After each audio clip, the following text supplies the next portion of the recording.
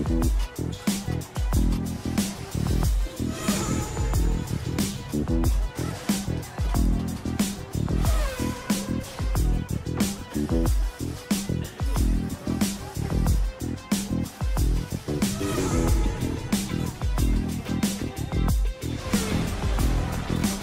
are you and JP friends right now?